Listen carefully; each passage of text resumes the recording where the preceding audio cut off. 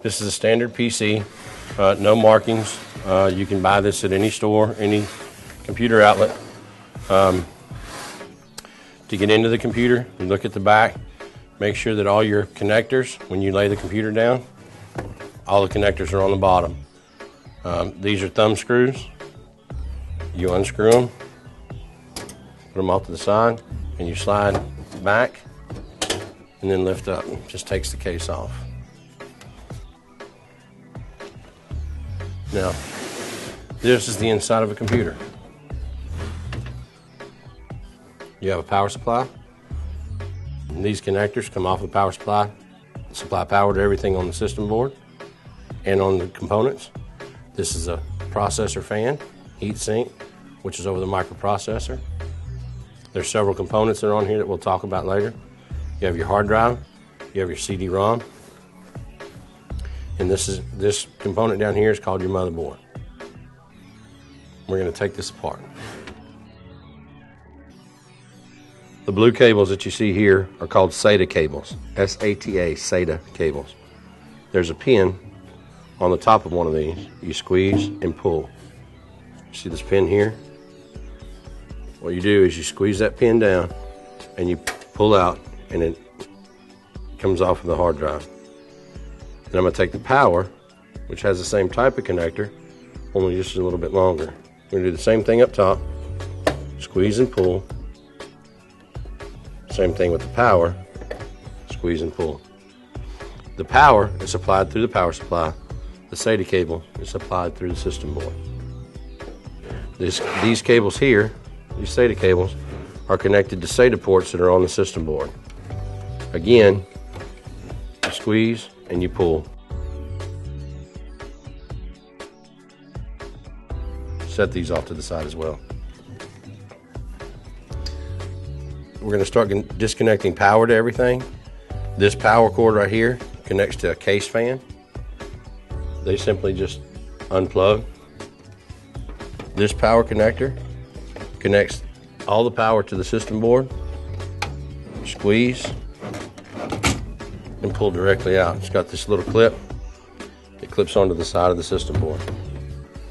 Again, another case fan, unplug power, and you have a four prong power connector down here.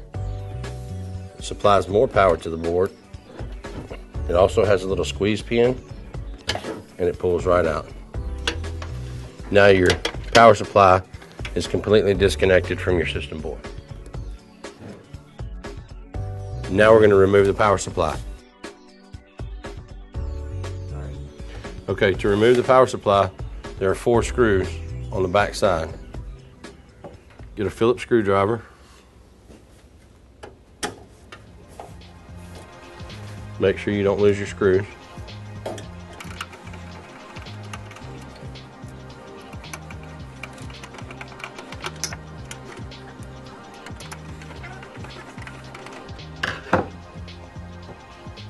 Once you finish taking out all four screws, power supply should just fall, slide forward, tilt back towards the board, and lift straight out.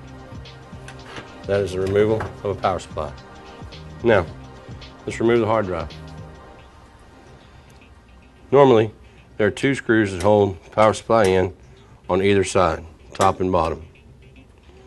Let's remove the hard drive screws and remove the hard drive.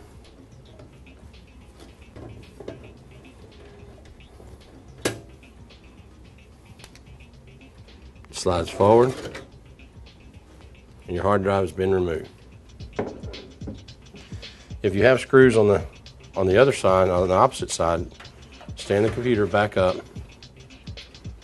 Remove the screws on the on what we call the bottom side. Remove your thumb screws, slide the tray, open up that portion of your computer. These two screws will release the CD-ROM drive.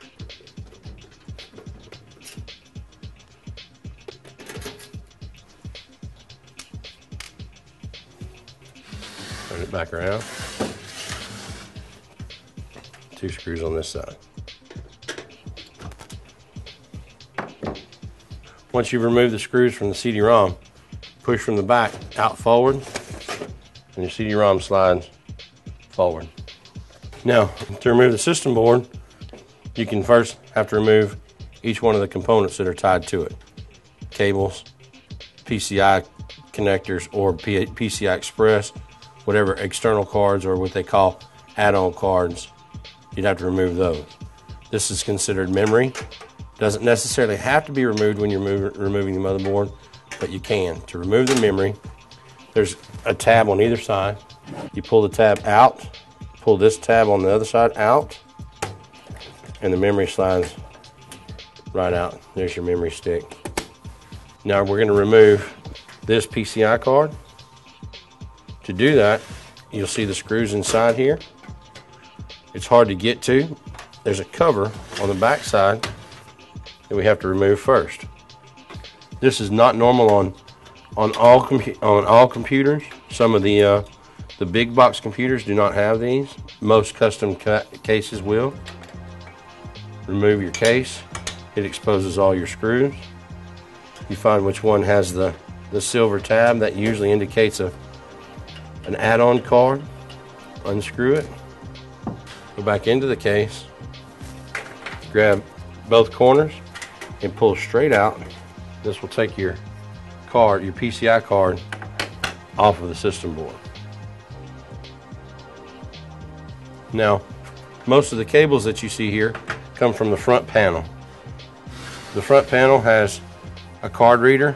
It's got USB ports, audio headphone jack. It's got a power button, a power LED or power light, and it's got indicators for your hard drive and other lights on the front. So what we want to do is disconnect those cables from your system board. Real simply, don't you don't don't pull too hard. Just grab firmly and ease them out. Just pull lightly and they'll all unplug and notice how they fan apart. This is your USB cables. Do the same thing. Grab lightly and pull. These do not fan apart and it has the word USB or has the, the uh, letters USB on them. This will tell you these are for the USB ports and the card reader for up front. Then this cable, again, pull from here, it tells you that it's an audio port. Came from here. And it'll tell you on the system board where it says audio. Now, let's remove the motherboard. To remove the, the system board, there's there are screws that hold it on. These screws are, are indicated by little circles throughout the system board. And that holds it in place so it won't, it can't move. And once we remove those screws, the system board should slide towards the front of the case and pull straight out.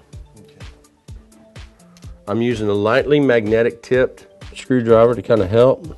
Some people don't uh, don't necessarily think it should be used, and if that's the case, if you don't feel comfortable with that, then then don't use them. I'm sure whenever you're putting these screws back in, you don't uh, you don't over tighten them. They just need to be tightened up enough to where it, it holds steady. The motherboard should lift straight up. Now that you have your system board out, you can replace your processor. This is the easiest thing way to do it. I like to put the, the processor and the heatsink on before I set, your, set my motherboard back in my box or, or replace it. The reason being is it allow me, one, to handle the, the device a little easier, and two, I'm not confined in space. So what I want to do is on, on every heatsink, you're going to find a fan.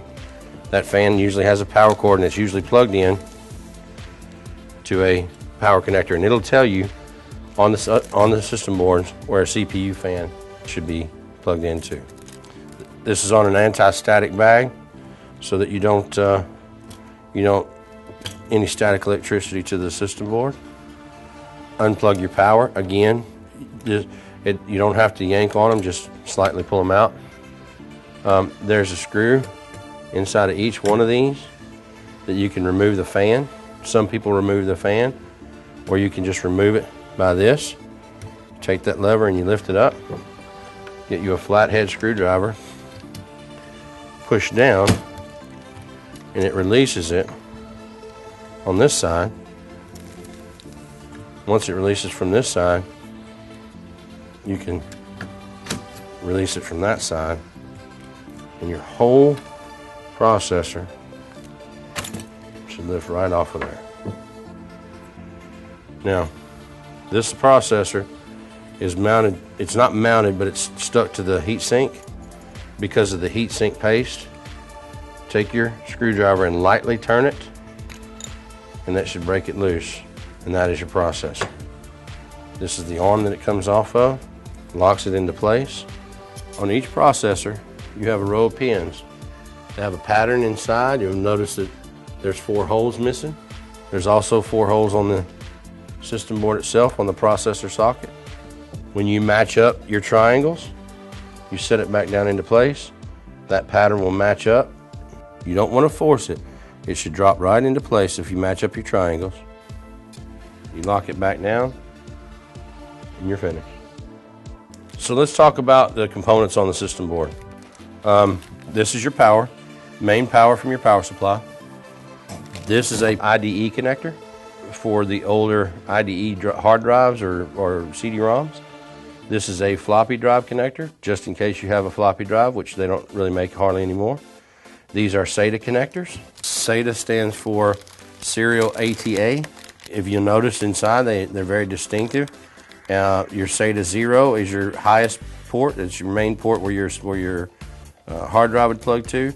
And then you have your SATA 1, 2, 3 on the other side for any others. You have PCI slots. You have a video port. Uh, the only thing that fits in this port would be a video card, PCI Express video card.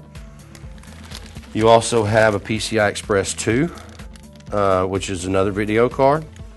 These pinouts up here uh, is where you would plug your front panel uh, for your power switch and your, your front speaker or the LED lights. This is your USB ports. You'll notice what it says up here. These are both your USB connectors for the front. This is a communications port in case you have a, a communications card in the front. You also have on the back you have audio ports, which is your your speaker, microphone, your headphone jacks, you have an Ethernet connector for your network. You have two USB ports here, uh, four more on this side. You have a DVI port. You have a VGA port. Both of these are video. You have, if you notice this one's green and purple, this is a PS2 port. You can plug either a mouse or a keyboard. And then you have two more USB ports on the front side. Your memory socket, sockets, you have two uh, DDR memory sockets right here. This processor is an AMD processor. You can tell because it says AM3 or AM2 Plus. This is your processor socket. These are the mounts for your heatsink.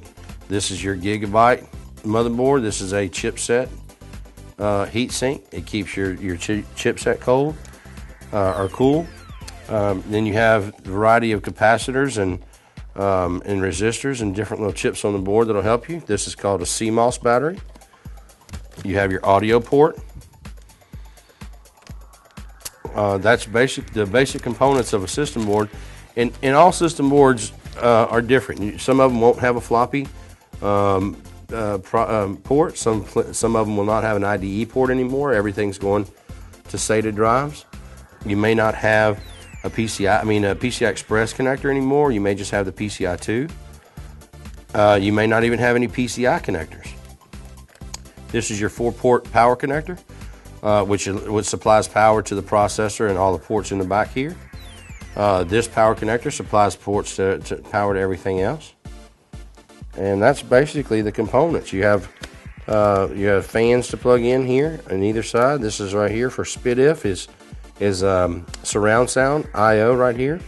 Another audio port, and that's your, that's your basic components.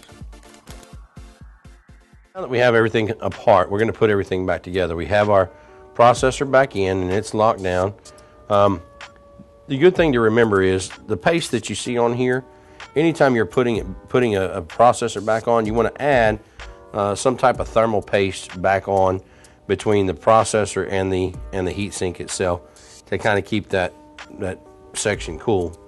So what we're going to do is we're going to turn this all the way back around just like we had it and we're going to set it back in place. We're going to turn it and we're going to make sure that it's locked down on this side here. So when we turn it back, the other side, this portion, we have to push down on just a little bit where it locks into place. Now that we've got this pushed down on both sides, we're to lock the lever in place and that keeps this from moving. Now we take our power connector, four port power connector. It's got the little slide so it tells you which way it's supposed to go and it slides all the way down to the bottom until you hear it connect. Now that we have this in place, we can add our memory back as well. The memory can go in on the outside just as just as easy as it can on the inside. So we want to line up the grooves with the grooves that are in the in the system boards themselves. So you want to make sure that the grooves match up before we insert it. We want to make sure our tabs are open on both sides. There's a rail that it goes into here and here. And then you want to push down on both sides firmly until you hear it click. If you have two, you can put it on either one of them. If you have an additional memory, you can add that to it as well. This just has a single stick of memory in it. And we'll get into that further in another video, what's, what type of memory and what type of slot. So now we're ready to put this back into the system board and right back into the, uh, into the computer. So we take our case like we had before. It's empty and we want to add the system board back in. So we're going to lay it back down. We're going to put the motherboard, the, the motherboard back in. Notice on the back how you have your holes aligned where each one of the components go and it tells you where the keyboard or mouse and it tells you all the other things and we want to align the back of these with the ports that are on the back of this. Now anytime you buy a system board this plate pops in and pops out so it doesn't matter if you have a generic case and a generic motherboard you can pop this portion of the case out and put the one that comes with your new board in so it matches up. So let's set our case back down. You want to take your system board, make sure that your components are facing the back. You want to go in at an angle, moving all your cables out of the way. You want to make sure that it matches up with all your components in the back. Make sure that nothing is poked out. Make sure that you're all in the right place. And you want to make sure that you can see your screw holes and that they're matched up as well. Again, when you're putting your screws back in, you don't have to, to bear down on them. Just make sure that they're snug. Make sure that the system board will not move. It doesn't jump.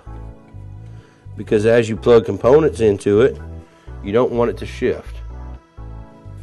The ones back here by the by the back of the system board are the ones that are a little more tough to get to because of the lip on here. Just you can use a shorter screwdriver or an actual longer screwdriver just to get the uh, get your your screwdriver away from the edge there. The main concern with the screws is you want to make sure that all four corners are tied down or anchored.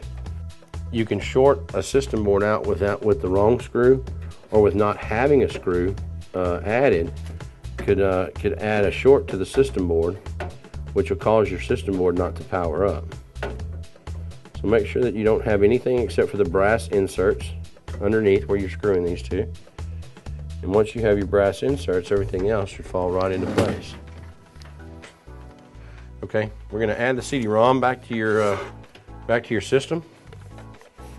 You want to make sure your SATA connectors, the same ones that are on the board, system board, the SATA and then your power SATA. So you want to slide it in from the front until the front piece matches with the front of your case and your screw holes are lined up. You want to take your screws. You want to make sure that they're snug. You don't want to you don't want to have to bear down on them too hard. You just want to be able to get them into place to where it holds the CD-ROM in place. Now that your CD-ROM's in place, we're going to add the hard drive back. Your SATA connectors are on here. This is power if you if you have IDE power and you don't have SATA power. This hard drive has both power connectors. So you can add a power connector similar to this from your power supply if you need to, or just use regular SATA power. I'm going to add this back in. And what we want to do is we're going to find our ledge where we want it. We're going to slide it back in. Notice our screw holes are lined up into the slots. We can slide it all the way as far back as we want, or we can bring it as far out as we need to. The adjustment is purely up to you and the space that you have. Take your screw, line it up. Doesn't slide either way. Now that these two components are back in, we're going to add the power supply. We will add a PCI card. Uh, all the other components are in, but I want to add the power supply now to show you how everything plugs back into place. Power supply will go upside down. This depends on the on the back angle. You want to go in at an angle, up, turn it straight, slide it forward. You want to match up your holes, your screw holes. Like most power supplies, there's a ledge on top underneath that'll help you hold it in place. So when you're ready to screw it in, line up your screw holes, you screw your power supply back in. And this one you want to make a little more snug than the rest of them. This has, this is all your power here, so you want to make sure that it doesn't, uh, it doesn't come loose. Now your power supply's in, snug, it's not going anywhere. Now, let's plug in our 24 pin power connector. There's 24 pins. On your system board, it has 24 pins. Your plug, your squeeze um, pin is on this side right here that locks and unlocks them. And there's a there's a ledge on the edge of your power connector there. So you just line up your pins with the holes that are there and push until you hear a snap and it's locked into place. Your four pin power connector, again, your clip, there's your power connector there, there's your clip, there's a ledge on the a lip on the edge. You line up the holes, it only goes one way, it won't go the other way. And push until you hear it, until you, that clip clicks. Now, we want to add power to the rest of our system. This is a power, this is a power plug that we can add for the CD-ROM. Add that power back. Again, it only goes one way. Power for the power for the for the hard drive. Power is there. Now, your SATA plugs. SATA plug for the CD-ROM, SATA plug for the hard drive. Exactly the same setup. The difference is this one's kind of a 90 degree angle, which allows it to uh, to be put in this way the, the, the, the system board, I mean the hard drive doesn't need it because you got more room over here. They do this in tight spots uh, where you can get to them a little easier. So our hard drive zero, SATA 2 zero, is going to plug to the to the system board. Notice the L shape on this one as well. There's the there's a connector for it. Going to push until we click, hear it click. Take this side again with the L shape sideways L, and we're going to plug it to the hard drive. Push until you hear it click, just like that. And we're going to do the same thing for the CD-ROM. Does it matter what port the CD-ROM goes to? There's SATA 0, then SATA 1, SATA 2, and SATA 3. Does not matter. You choose SATA 1, the next drive in line You feed your cable up and you plug it against your CD-ROM. You want to try to keep your cables as neatly as possible. That way you're they're not running into your fans and you, you're, not, you're not cumbersome. And then you have your other cables that plug into your system board as well. So let's start off with the audio cable. And if you remember, the audio plug was back here. Notice the pins on this have a certain pin out. There's there's five pins, then there's three, and number four is missing, and we have five again on the other one as well. The same pin out is on this.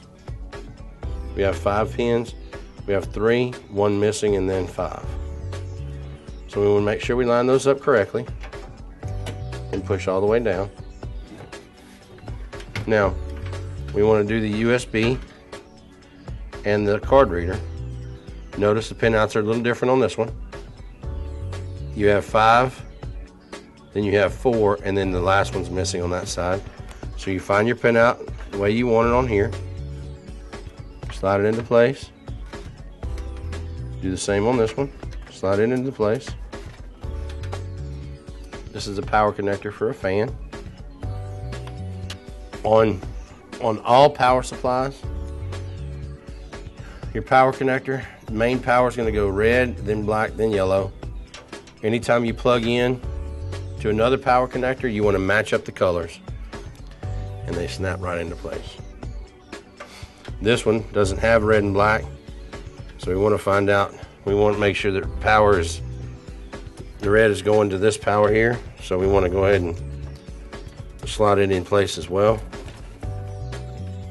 This is the power LED, positive and negative. This is our hard drive LED, and this is our reset switch. So those plug to this port right here. You're gonna have to find where the color code's on this, but if you'll notice, it tells you which where each one of them plug into. So if it's closest to this, it's on this side. If it's farthest away, it's on the opposite side.